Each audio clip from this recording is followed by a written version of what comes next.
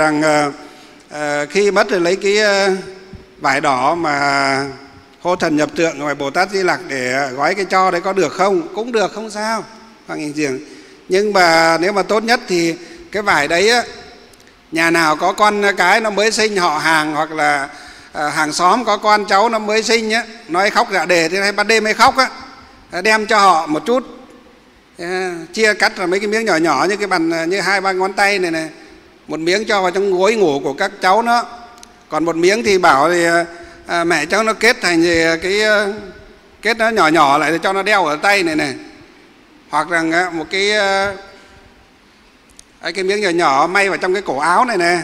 May đằng sau cái cổ áo này cho con nó mặc cũng được. Đó. cái đem không nó vào bên trong cái cổ áo này. Cho nó đỡ lộ ra bên ngoài. Mà bên ngoài thì cũng được nhìn nó nhìn tự nhiên cái áo trắng mà hoặc cái áo uh, xanh xanh nhau hoa hoa mà có miếng vải đỏ con con nó ra bên ngoài thì nhìn nó hơi lộ thì may bên trong vá bên trong cũng được. Ừ, tùy theo. Nhưng mà cốt là có cái uh, cho được cháu nó đeo ở trên tay này hoặc là cho vào trong cái gối ngủ á cái này gọi là chữa cái ờ, hèm. Nhưng không phải trường hợp nào khỏi một trăm phần trăm. Cái nhẹ nhẹ là đại đa số là khỏi. Còn cái nặng thì phải như cái cụ ngày xưa là phải cúng cơ là bán khoán nặng hơn một chút là bán khoán, hoặc là cúng mụ cho các con đó, thế là khỏi. Cái trường hợp này ở chùa cũng gặp nhiều lắm rồi. Đấy, chúng ta cứ tính rằng à, cứ nghĩ rằng cái vấn đề tâm linh là không có. Nhiều người, thậm chí có cả một vài cái vị sư xuất ra rồi mà bảo làm gì cái chuyện đó mê tín dị đoan, làm gì mà các à, cháu nó ban đêm à, hay ngủ hay khóc như thế mà đem bán khoán là nó khỏi. Ấy, khỏi các vị ạ. Khỏi đấy, mà khỏi nhiều là đằng khác ấy cái ờ, cái cháu bé của cái cô con ờ, không biết con trai con gái của cái cô hiệu trưởng ở bên cổ đông cấp 1, cấp 2 gì đó tôi không nhớ lắm nhưng mà lâu rồi. Từ khi mà chưa làm đại tượng nữa từ năm 2012 13 gì đấy cô làm hiệu trưởng ở bên đấy. Sinh đứa con ra nó khóc phải đến ờ, hơn một tháng trời. Xong chả biết đi làm kể với cái cô giáo. Cái cô giáo ở bên trường cổ đông này thế cô ấy mách ôi dồi cái đấy đi lên thầy à, thịnh ở chùa khai nguyên. Khỏi ngay. Thế là sáng sớm cô ấy gọi điện à, cô giáo ở sân đông gọi điện cho thầy và có cô giáo ở hiệu trưởng ở cổ đông à, xin sang gặp thầy có việc chút. Sáng sớm thế ra rồi. Ngày xưa còn cái nhà tổ chưa làm đại tượng, còn nhà tổ. Thầy ra thấy cô ấy đến sớm, trình bày, tưởng cái việc gì lớn. Cái việc đấy là đơn giản. Cái việc đó là rất đơn giản. Thế là vào lấy một cái miếng vải đỏ, nhỏ nhỏ bằng cái bao diêm mà cắt thành hai. Bảo một miếng cô về cô ờ, ờ, khâu khâu lại xong làm cái ờ, vòng đeo cho con nó, còn miếng thì cho vào trong gối ngủ. Thế sáng sớm hôm nay cô ấy xin. Sáng sớm hôm sau cô đi sang chùa thế làm một cái cái túi lễ là gì to gấp đôi túi lễ ngày hôm qua. Mình thấy cái túi lễ to là thấy cô ấy tươi tươi là cũng mừng rồi thế bà cô bảo, vừa nhìn thấy mình, bà cô bảo, ôi trời ôi, thầy ơi, đúng là phật pháp nhiệm màu quá. Cả đêm hôm qua con nhà con nó ngủ nó không khóc một tí nào nữa thầy ạ. À. đấy. Đấy là con của cô hiệu trưởng ở cổ đông. Cũng phải đến ờ, bảy, tám năm trước, hơn hơn, đâu 2011 12 gì đó. Mà đặc biệt là cái năm 2009 thầy ờ, đang xây dựng cái chùa Tản Viên đấy. Cái năm đó là cái năm mà gọi là đang mở đường. Đang bắt đầu mở đường thì à, đường đất thì thầy mở xong rồi. Thì bắt đầu thì nhà nước cho tiền để à, đổ bê tông cái đổ đường nhựa bây giờ đấy. Thì trong đó có một cái chú lái à, lái xe ô tô chuyên đi à, đổ đất. Mà chú ấy thì không hiểu mình có thù hằn với họ đâu. Mình rất tốt với họ ở trên chùa khách đi lễ có thanh bông hoa quả bánh kẹo gì vừa dâng cúng phật xong, thì mình lại mang xuống cho các chú ăn vì thương các chú là là đi lái xe rồi đi làm thợ thuyền như thế nó khổ. Tính mình thì xuất phát từ nông dân mà, cho nên mình thấy những người nông dân mình cũng đồng cảm. Có cái gì là mang xuống cho họ? Mà mình cứ nghĩ rằng à, mình tốt với họ thì họ sẽ tốt với mình. Ai ngờ rằng à, một hôm thì à, nghe một cái à, vị à, phật tử nhưng mà ở dưới dân ở đó, người người giao, tức là người dân tộc đó kiểu như ngồi hay vào, ngồi uống rượu với lại uống nước với họ mà. Thế nó nói xấu mình không thiếu một cái gì cả. Mà rõ ràng hàng ngày mình có mang hoa quả, bánh kẹo cho họ ăn. Mà chẳng đồng chạm đến mình, mà nó nói xấu mình nó không thiếu một cái gì. Nào là sư đi tu nhìn như thế mà bảo tu cái gì? Cứ vài hôm là đi xuống núi một lần như thế.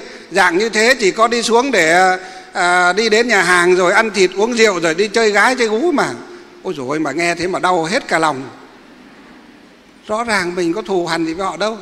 Chả biết cái nghiệp chướng nhiều đời nhiều kiếp làm sao mà họ lại à, nói mình như thế. Nhưng mà có một chú đấy thôi là nói nhiều nhất không thì sau này mình điều tra ra thì cũng mới biết là cũng chính do trong nội bộ nhà mình.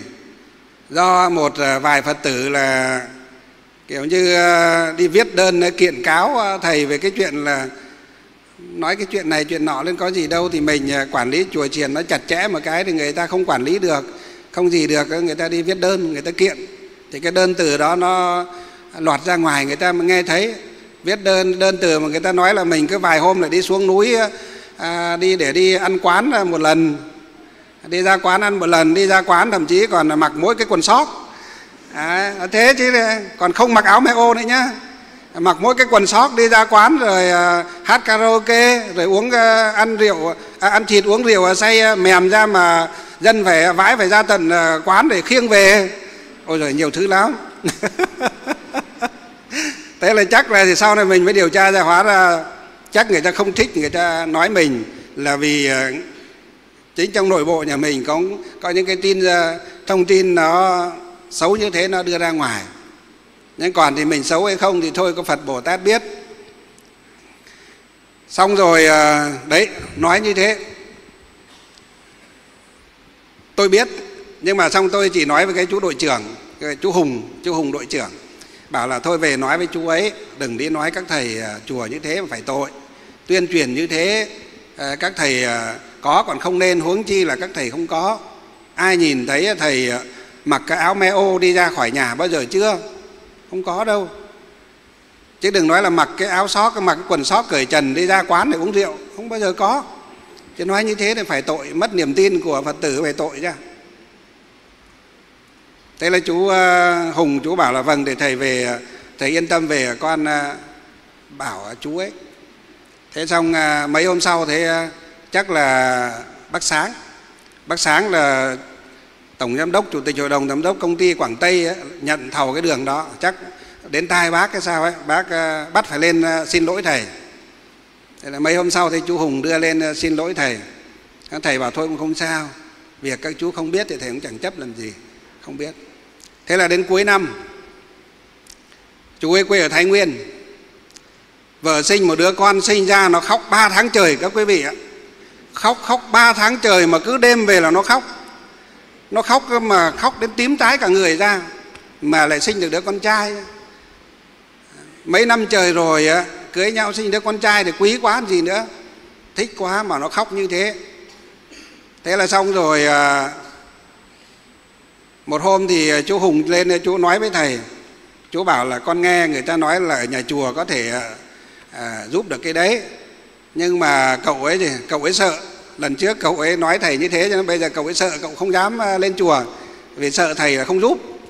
Thầy bảo ôi thì không sao cứ lên đây. Bảo chú ấy lên đây. Thầy à, à, sẽ lễ cho ngay giúp cho ngay cái việc đó. Các cháu nó khóc 3 tháng trời như thế mà để vấn đề cho nó khóc thế sao? Thế là đi xuống à, được khoảng mấy tiếng đồng hồ sau thì thấy chú hùng chú đưa chú ấy lên sách cho cân hoa quả nữa bó hương nữa đặt vào cái túi à, cái cái đĩa lễ lúc đó là 50 nghìn cái tờ 50 nghìn polymer ấy, lễ. Thế lên lễ cho làm cái tờ khoán bán khoán cho và đem uh, cho cái miếng vải đỏ nữa. Vào về cái, và mang về ngay cái tờ khoán ấy, thì uh, để lên trên cái đầu giường của cháu ép vào thì tốt. Treo lên trên cái đầu giường thì dán lên trên tường ấy. Còn cái vải đỏ hô thần ấy thì cho vào trong uh, gối cho con nó ngủ. Cái miếng nhỏ nhỏ thì tết thành cái vòng này cho cháu nó đeo. Thế là chú ấy về à, gọi điện xuống cho chú hùng. Qua đêm một cái cháu nó khỏi không khóc gì nữa nhưng mà còn để xem đêm thứ hai xem á có khỏi không?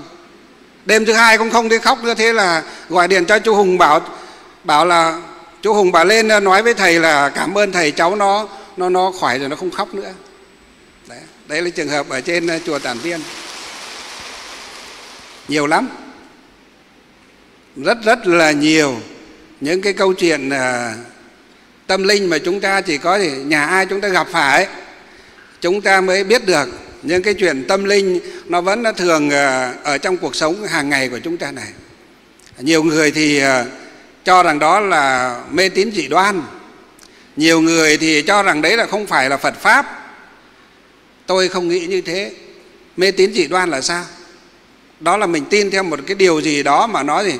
Mà nó đưa đến cái sự à, tác hại cho mình và cho người mà mình vẫn tin theo đó mới gọi mê tín dị đoan.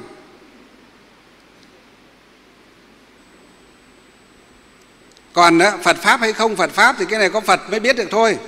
Chúng ta cũng à, làm sao mà đánh giá được là phải phật hay không phải là phật. Chúng ta chỉ biết rằng trong gia đình của họ đang đau khổ như thế đang lo lắng như thế. Đứa trẻ con nó mới chỉ có mấy ngày tuổi mấy tháng tuổi nó khóc cứ đêm về nó khóc oe oe khóc đến à, tím tái cả người lại như thế.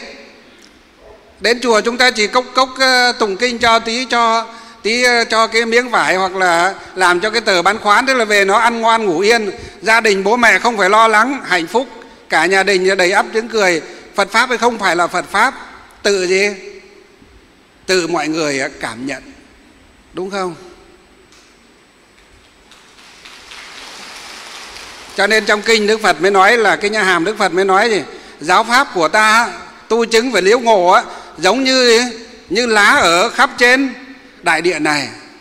Còn nếu pháp mà ta nói ra chỉ như lá ở trong lòng bàn gì bàn tay của ta mà thôi.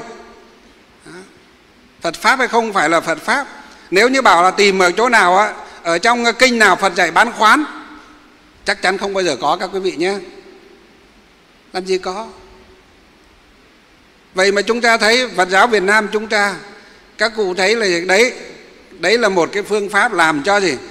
À, gia đình họ an tâm cả người lớn cả trẻ nhỏ đều an tâm ăn mày phật ăn mày đức ông. Bảo ban khoán là ăn mày đức ông. Có khỏi không? Nhiều trường hợp là khỏi. Gia đình họ an tâm. Bảo cái đó là không phải là phật pháp. Nhưng tôi nghĩ là phật pháp ấy, là không có hình tướng không có cái gì à, cố định nhất định đâu.